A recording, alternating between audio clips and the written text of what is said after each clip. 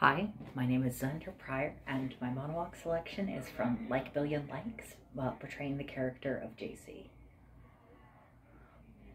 You know how they do skin grafts? Uh, they take this instrument called a power dermatome. It basically works like one of those uh, cheese shavers, and they use it to carve off, you know, skin, good skin, from uh, places that are uh, places that don't get seen as much, like the butt and the backs of the legs.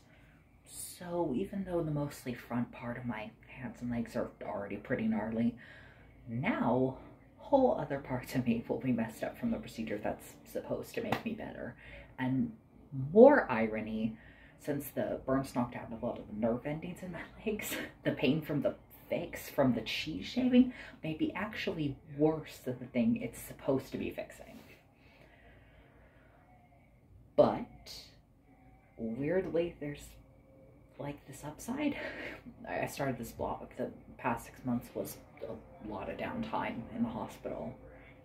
The response was so great. I started the YouTube channel. I mean, the support from everybody was wow.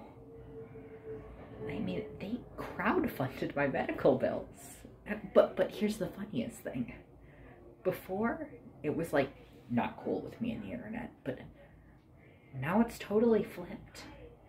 You doing this, the, the fire made a wall around me. There are these fans supporting me and protecting me, shouting the haters down. So the skin grafting thing, it's gonna be nothing.